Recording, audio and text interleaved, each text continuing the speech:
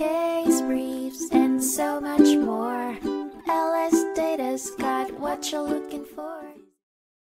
In a 1999 case, Giroux v. Somerset County, the United States Court of Appeals for the First Circuit focused on a test to determine if a prison had violated an inmate's Eighth Amendment rights. Conditions within the prison must be extremely poor, and officials must have known about the risk but chose to ignore it.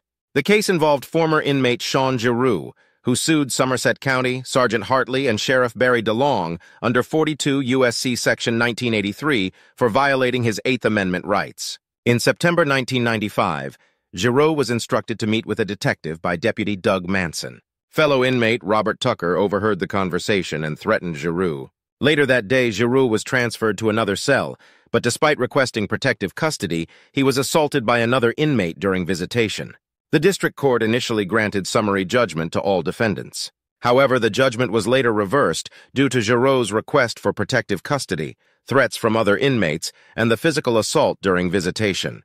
The case was then remanded to the district court for further proceedings, with Giroux's claims against Hartley, DeLong, and Somerset County reinstated. Giroux was ultimately awarded costs in the trial.